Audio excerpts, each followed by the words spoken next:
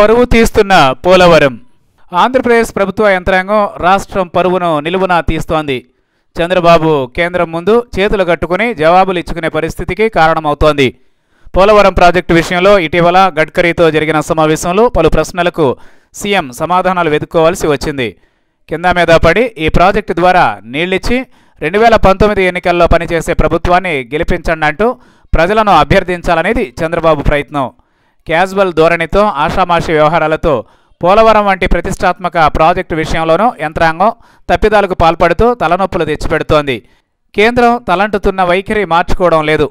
నిధుల విడుదలలో జాప్యానికి సాగదీతకు కొర్రీలు వేయడానికి ఈ తప్పిదాలే కారణమవుతున్నాయి. ప్రాజెక్టు పూర్తి కాదేమోనన్న సందేహాలకు కూడా ఈ లోపాలే సాకులుగా మారుతున్నాయి. పోలవరం పూర్తి కాకపోవడానికి కేంద్ర ప్రభుత్వమే కారణమని నిందించి చేతులు దులిపేసుకుంటే రాజకీయంగా ప్రయోజనం లభిస్తుందేమో కానీ ఎప్పటికీ ప్రాజెక్టు పూర్తి కాదు. ప్రాజెక్టు నిర్వహణ బాధ్యతను రాష్ట్ర ప్రభుత్వం తీసుకుంది. ఈ నిర్మాణాన్ని కేంద్రమే పూర్తి చేయాల్సి ఉన్నప్పటికీ ఆంధ్రప్రదేశ్ ఆసక్తి చూపుతున్నందువల్ల నిర్మాణ బాధ్యతను అప్పగిస్తున్నట్లు కేంద్రం లిఖితపూర్వకంగానే స్పష్టం చేసింది. పర్యవేక్షణను మాత్రం పోలవరం అథారిటీ పేరుతో నియంత్రిస్తోంది. అథారిటీకి రాష్ట్ర ప్రభుత్వానికి మధ్య పన్నెండు నివేదికల్లో విభేదాలు తొంగి చూసినట్లు సమాచారం. నిర్మాణంలో లోపాలు తలెత్తితే ఈ భారీ ప్రాజెక్టు కారణంగా వాటిల్లే నష్టం ఎక్కువగా ఉంటుంది. ఇదే విషయాన్ని దృష్టిలో పెట్టుకుని టెక్నికల్గా ప్రతి విషయాన్ని ఒకటికి రెండు మార్లు తనిఖీ చేసి నిర్ధారించుకున్న తర్వాతనే ముందుకు వెళ్ళాలని అథారిటీ చెబుతోంది. కానీ ముఖ్యమంత్రి ఒత్తిడితో పర్సంటేజీల వారి టైం బౌండ్లో పనులు పూర్తి చేయాలని రాష్ట్ర ప్రభుత్వ అధికారులు ప్రయత్నిస్తున్నారు. ఇందుకు గాను సబ్ కాంట్రాక్టర్లు ప్రధాన కాంట్రాక్టర్పై తీవ్రమైన ఒత్తిడి చేస్తున్నారు. సబ్ కాంట్రాక్టుల పనులకు సంబంధించి సాధారణ టెండర్ నిబంధనల్లో కూడా అనేక మినహాయింపులు ఇస్తూ నోటిఫికేషన్లు జారీ చేస్తున్నారు. టెండర్లు పిలిచి ఇవ్వాల్సిన కనీస గడువు కూడా ఇవ్వకుండా పనులు అప్పగించాలని చూస్తున్నారు. న్యాయపరంగా సాంకేతికంగా భవిష్యత్తులో ఇది ఇబ్బందికరమని కేంద్ర జలసంఘం పోలవరం అథారిటీ అభిప్రాయపడుతున్నాయి.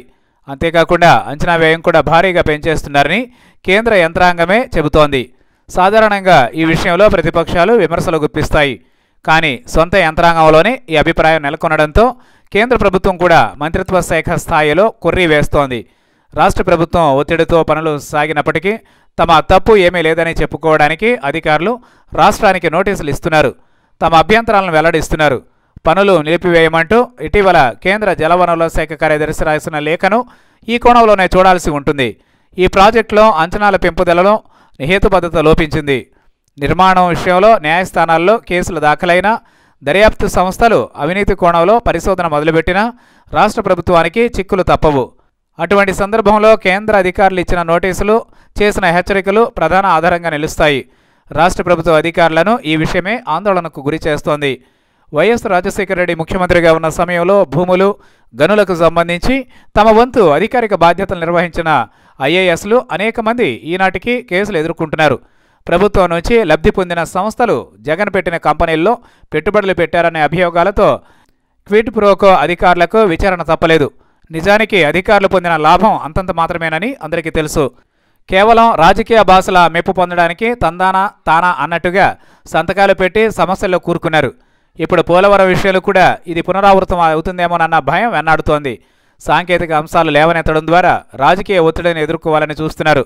కేంద్ర అధికారులకు రాష్ట్ర అధికారులు ప్రాజెక్టుకు సంబంధించి నిబంధనల ఉల్లంఘనల సమాచారాన్ని అందిస్తూ లోపాయికారిగా సహకరిస్తున్నారనే అనుమానాలు వ్యక్తమవుతున్నాయి. తాము చిక్కుల్లో పడకుండా ఉండాలంటే ఇదే తరుణోపాయమని ఉన్నతాధికారులు భావించడమే ఇందుకు కారణం. రాష్ట్ర ప్రభుత్వం సమర్పించిన ప్రాజెక్టు నిర్మాణ అంచనాలపై అనేక కొరిలు వేస్తూ అభ్యంతరాలను ప్రకటిస్తూ రిపోర్ట్ను కేంద్రం తాజాగా తిప్పి పంపింది. కార్యాలయాల్లో కూర్చొని రాజకీయ బాసులు చెప్పినట్లుగా అంచనాలను వండి వారుస్తున్నారనేది ప్రధాన అభియోగం. రెండు వేల పది నాటికి మూడు వేల కోట్ల వరకు ఉన్న భూ పరిహారాన్ని ముప్పై మూడు వేల కోట్ల రూపాయలకు చేర్చారు. రెండు వేల పదమూడు భూసేకరణ చట్టం ప్రకారం నష్టపరిహారం ఎక్కువ ఇవ్వాల్సి వస్తోందన్న మాట వాస్తవం. కానీ భూమి విలువను నిర్ణయించాల్సింది రాష్ట్రమే. స్థానికంగా ఉండే రిజిస్ట్రేషన్ మార్కెట్ వాల్యూను విపరీతంగా పెంచడం వల్ల తడిసి మోపడై కూర్చుంది. వాస్తవాల ప్రాతిపదికన ప్రభుత్వం పరిగణించి ఉంటే ఒక్కో రైతుకు నాలుగు రెట్లు పరిహారం ఇచ్చినా పదిహేను వేల కోట్ల రూపాయలకే భూ పరిహారం పరిమితమై ఉండేదంటున్నారు. కానీ రాష్ట్ర ప్రభుత్వం తమది కాని సొమ్ము దారపోస్తే పోయిందేమన్నట్లుగా భూ పరిహారాన్ని పెంచేసి కేంద్రం తలపై చేయి పెట్టాలని చూసింది. భారీగా పరిహారం ఇప్పించి స్థానిక రైతుల మన్నన పొందాలని యోచించింది. ఈ ప్రయత్నం వికటిస్తున్నట్లు తాజాగా కేంద్రం ప్రకటనలు చూస్తే తెలుస్తోంది. మూడు వేల కోట్లు ముప్పై మూడు వేల కోట్లు ఎలా అయిందో తెలుసుకునేందుకు భూమి విలువపై తామే సర్వే చేయిస్తామనేంతగా కేంద్ర ఆర్థిక శాఖ అధికారులు గట్టి వార్నింగ్ ఇచ్చారు. రెండు వేల పదమూడు రెండు వేల పద్నాలుగు అంచనాల ప్రకారం నిర్మాణ వ్యయం భరించేందుకు కేంద్రం హామీ ఇచ్చింది. దీంతో భారీగా బడ్జెట్ చూపించి రిపోర్టు పెట్టారు. రెండు వేల పది అంచనాల ప్రకారం పదమూడు వేల కోట్ల రూపాయలు ఉన్న ప్రాజెక్ట్ కన్స్ట్రక్షన్ వ్యయాన్ని ఇరవై ఐదు వేల కోట్లకు పెంచారు. మూడేళ్ళలో దాదాపు రెట్టింపు చేశారు. ఇది పెద్దగా అభ్యంతరం చెప్పాల్సిన అవసరం లేదు. కానీ అధికారులే చేసిన మరో పొరపాటు ఈ పెంపుదలపై కూడా ప్రశ్నలు లేవనెత్తేందుకు వీలు కల్పించింది. రెండు వేల పదిహేను పదహారు నాటికి పెరిగిన నిర్మాణ అంచనాలంటూ పంపిన నివేదికలో కొన్ని పనులకు రెండు వేల పదమూడు పద్నాలుగు కంటే తక్కువ వ్యయం చూపించడంతో కేంద్ర ప్రభుత్వం అధికారులకు అనుమానం వచ్చింది. కేంద్రం ఖర్చు భరించే డెడ్లైన్ రెండు వేల పదమూడు పద్నాలుగు కావడంతో తప్పుల తడకగా భారీగా అంచనాలు పెంచినట్లు కేంద్రం పసిగట్టింది. అవే పనులకు రెండు వేల పదిహేను పదహారు అంచనాల్లో తక్కువ మొత్తం చూపడంతో లోపాలను రాష్ట్రమే పూర్తిగా అంగీకరించినట్లయింది. ఆషామాషిగా వేస్తున్న ఖర్చుల లెక్కలపై నవ్వుకోవడంతో పాటు రిపోర్టు మొత్తం తప్పుల తడక వాస్తవ విరుద్ధమంటూ పెరిగిన అంచనాల ఖర్చు రిపోర్టును కేంద్రం తిప్పుకొట్టింది. రాజకీయంగా అత్యంత ప్రతిష్టాత్మకంగా తీసుకున్న చంద్రబాబు పోలవరం విషయంలో కేంద్రంపై రకరకాల రూపంలో ఒత్తిడి పెంచుతున్నారు.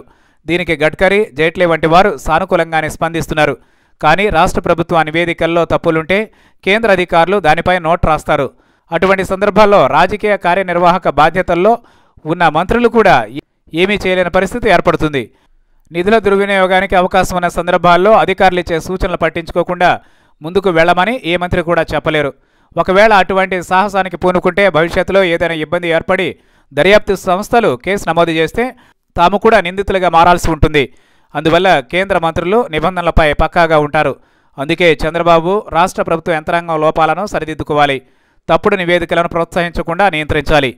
మన వైపు నుంచి అన్నీ సక్రమంగా ఉన్నప్పుడు రాజకీయ ఒత్తిడి చేస్తే పనులు చకచకా సాగిపోతాయి. కానీ తప్పుడు నివేదికలతో పని కానిచ్చేద్దామనుకుంటే కేంద్ర మంత్రుల నుంచి సానుభూతే తప్ప సహకారం కష్టమవుతుంది.